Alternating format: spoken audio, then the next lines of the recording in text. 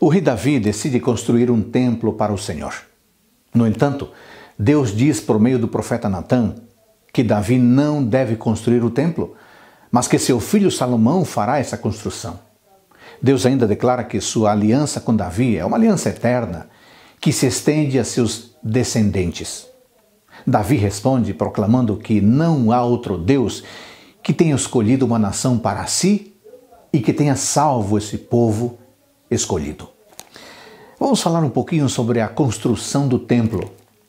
Davi tinha o sonho de construir um templo para Deus, mas Deus lhe disse: Seu plano é ótimo, mas eu não quero que você o faça.